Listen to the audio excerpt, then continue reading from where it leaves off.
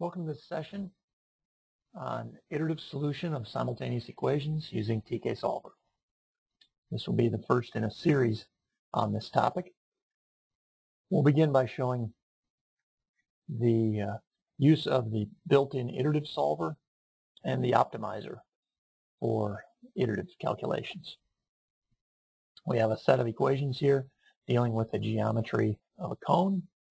These five equations uh, solve directly uh, for certain sets of inputs, such as uh, volume and radius being known.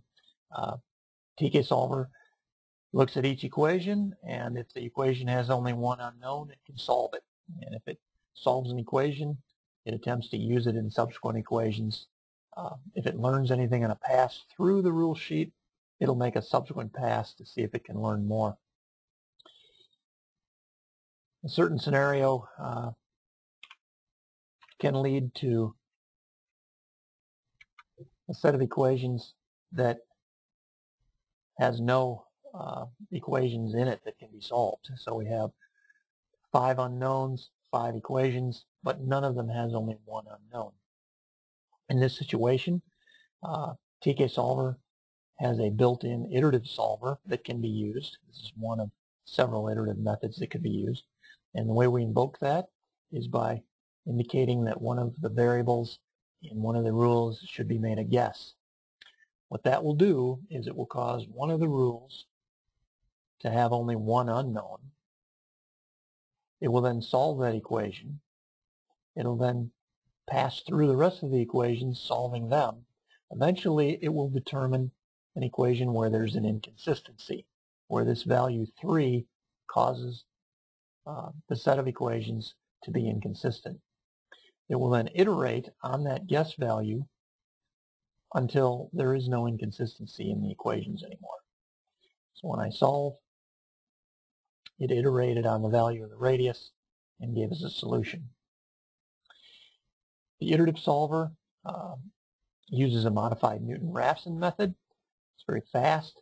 Uh, for more details on it, you can go to the uh, online documentation. A second method that can be used is to use the optimizer that is available with TK Solver. We'll go back to this scenario again. We know the uh, volume and the radius it solves this problem directly. We get a value of the slant.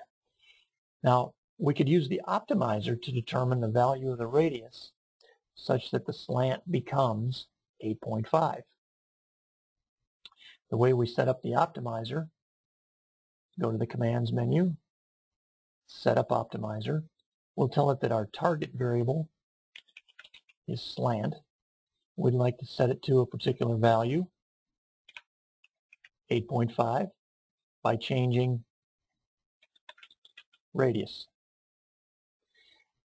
When we click the Optimize button, it says an optimal solution has been found. And when we look, we see that to the um, accuracy of the optimizer, the slant has become 8.5 at a value of the radius of 3.10741.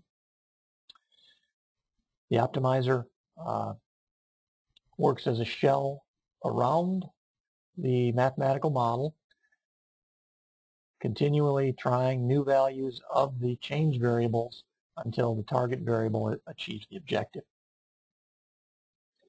Now, this ends the first session